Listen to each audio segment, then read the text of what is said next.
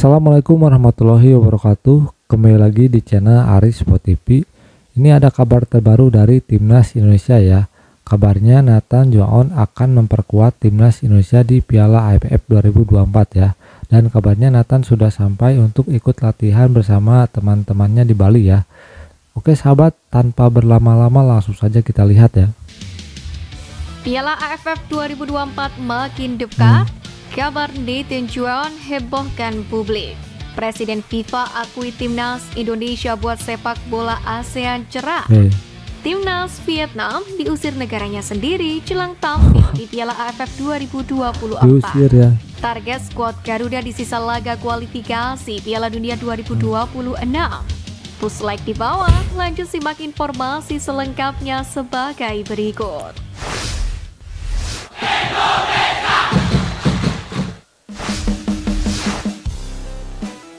Presiden FIFA akui timnas Indonesia buat sepak bola ASEAN cerah. Hmm. Presiden FIFA Gianni Infantino menyebut bahwa masa depan sepak bola di kawasan Asia Tenggara alias ASEAN tampak cerah. Hal itu diungkapkan sang pria berpaspor Swiss tersebut saat berpidato pada Kongres Biasa ke-31 Federasi Sepak Bola ASEAN atau AFF yang diadakan di Vientiane, Laos. Dalam pertemuan tahunan AFF itu, Infantino memuji kerja asosiasi anggota atau MA dan secara khusus menyoroti penggunaan program FIFA untuk mendukung dan mengembangkan sepak bola di kawasan hmm. ASEAN. Hmm. Kemajuan pun telah dirasakan, salah satunya ketika timnas Indonesia mengalami peningkatan pesat hingga menjadi satu-satunya wakil Asia Tenggara di putaran ketiga kualifikasi Piala Dunia 2026 zona Asia. Nah ini berarti Bahkan, sudah diakui ya. Indonesia yang kini menempati posisi tiga di klasmen sementara grup J memiliki peluang untuk bisa lolos ke Piala Dunia 2026. Tak pelak, pria berkepala pelontos itu memuji sepak bola ASEAN yang dinilainya memiliki masa depan lebih baik daripada sebelumnya. Okay. Menariknya FIFA dan Perhimpunan Bangsa-Bangsa Asia Tenggara menandatangani nota kesepahaman atau MOU pada 2019 kemarin bergabung untuk memanfaatkan sepak bola sebagai katalisator pembangunan sosial dan gaya hidup sehat di kawasan ASEAN. Sementara itu dalam lima tahun sejak penandatangan nota kesepahaman ini, berbagai inisiatif pun telah dilakukan oleh FIFA dan ASEAN serta para asosiasi. Termasuk inisiasi dan implementasi program sepak bola untuk sekolah FIFA di beberapa negara anggota ASEAN. Hmm.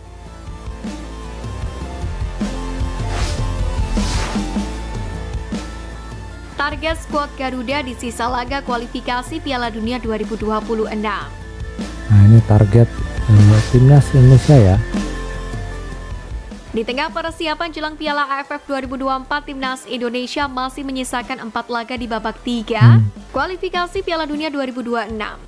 Persaingan skuad Garuda untuk memperebutkan tiket langsung atau ke babak empat kualifikasi Piala Dunia 2026 zona Asia ini pun masih sengit. Sebab ada tiga tim lain seperti Arab Saudi, Bahrain, dan juga Cina yang sama-sama mengkoleksi 6 poin. Dengan kata lain, masih ada banyak kemungkinan terjadi di empat laga tersisa fase grup C babak ketiga kualifikasi Piala Dunia 2026 zona Asia. Bagi timnas Indonesia, lolos ke tahap berikutnya masih sangat terbuka. Pasalnya, skuad Merah Putih bakal menjamu Bahrain, tepatnya pada 25 Maret 2025. Selang 10 hari kemudian, giliran Cina yang akan merasakan keangkeran stadion utama Gelora Bung Karno. kita akan menjamu Cina ya. Kemenangan kita menjadi harga yang ya. tak bisa ditawar bagi timnas Indonesia jika ingin lolos ke tahap berikutnya. Target PSSI sendiri lolos ke babak 4 kualifikasi Piala Dunia 2026 zona Asia dapat realisasi. Jika 6 poin didapat skuad Garuda. Kendati demikian, ST sendiri menegaskan tim Merah Putih akan berusaha setidaknya mencuri satu poin di kandang Australia. Hmm Hal itu bertujuan agar posisi timnas Indonesia mengamankan status runner-up semakin terjaga. Betul ya. Jadi kita harus menang ya. Timnas Vietnam diusir negaranya sendiri jelang tampil di Piala AFF 2024. Nah ini kenapa ya? Kok diusir ya? Timnas Vietnam tidak bisa menggunakan Stadion Nasional Maidin saat menjamu timnas Indonesia pada fase grup Piala AFF 2024 karena venue itu akan digunakan untuk konser musik. Oh. The Golden Star sendiri dipastikan harus memindahkan dua pertandingan kandang mereka di fase grup dari ibu kota Hanoi ke Stadion Vietri yang berada di Provinsi Puto saat menjamu Indonesia, Hmm. tepatnya pada Oh, jadi tanggal stadionnya 15 di- ini Desember pakai dan menjamu Myanmar ya, pada musik. 21 Desember. Dari sisi kapasitas, Stadion Vietri hanya mampu menampung 20.000 penonton, separuh dari kapasitas Stadion Maidin yang mencapai 40.000 penonton. Hal ini tentunya mengurangi dukungan supporter tuan rumah yang ingin menyaksikan timnas kebanggaannya berlaga. Namun bakal menjadi keuntungan bagi timnas Indonesia yang tidak bakal mendapatkan teror berlebih dengan kapasitas stadion yang berkurang. Memang, sesuai regulasi Piala AFF 2024, stadion yang akan digunakan untuk pertandingan tidak boleh menggelar event lain minimal 21 hari sebelum turnamen dimulai. Hal ini bertujuan untuk menjaga kualitas rumput lapangan.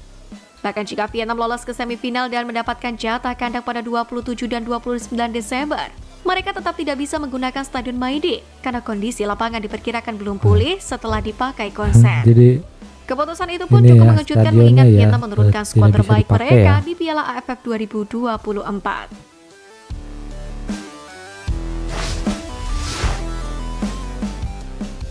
nah Piala ini ya AFF 2024 kabar makin dekat, Nathan ya kabar akan Nathan Juaon hebohkan publik. perkuat timnas di AFF ya. Di sela-sela pemusatan latihan timnas Indonesia jelang Piala AFF 2024, Sintayong mendapatkan kabar mengejutkan dari sosok Nathan Juaon di Swansea City. Melansir dari media Inggris Football League World beberapa waktu lalu, Nathan dinilai akan mencoba hengkang dari Swansea demi mendapatkan menit bermain. Bahkan hengkangnya Nathan dinilai akan menguntungkan kedua belah pihak. Apabila pemain keturunan itu masih dirasa penting bagi Swansea, maka opsi peminjaman ke klub lain di Liga Inggris pun bisa menjadi opsi menarik. Namun apabila Swansea City ingin menjual Nathan, maka klub asal Wales itu dinilai tak perlu bingung harus menjual ke mana. Terlebih Nathan sendiri memiliki kualitas dan bisa bermain di berbagai posisi seperti back dan juga gelandang. Menariknya Nathan sendiri bisa dipanggil Sintayong untuk tampil di Piala AFF 2024 berkat minimnya menit bermain di Swansea City tersebut. Nathan bisa menambah kekuatan para pemain muda yang lebih dulu bergabung. Di lain sisi, Nathan juga berpotensi menggantikan Ivar Jenner, yang mana terancam tidak dilepas lantaran masih menjadi andalan Chong Utrecht. Tentu menarik Hmm. untuk menanti keputusan Ini Sintayong dalam waktu yang eh, dekat ini. Van Jenner Satu dan hal yang juga pasti, Nathan bisa Nathan yang merupakan pemain serba Indonesia AFF ya. akan memberi warna baru di skuad muda timnas Indonesia. Mudah-mudahan timnas Indonesia juara ya. Nah, barusan sahabat kita sudah melihat ya kabar bahwa Nathan Joon akan memperkuat timnas Indonesia di AFF 2024 ya. Dan juga eh, Ivan Jenner yang belum dipastikan untuk ikut memperkuat timnas Indonesia di AFF ya. Mudah-mudahan eh, kedua pemain ini bisa ikut ya, bisa memperkuat timnas Indonesia di AFF supaya timnas Indonesia semakin kuat dan juga bisa juara di AFF 2024 ya. Nanti kita tinggal tunggu saja ya eh, kabar terbaru dari Nathan dan juga Ivan Jenner di timnas Indonesia. Nah mungkin sahabat di video kali ini cukup segitu dulu. Terima kasih yang sudah nonton. Jangan lupa like, subscribe, dan share. Terima kasih.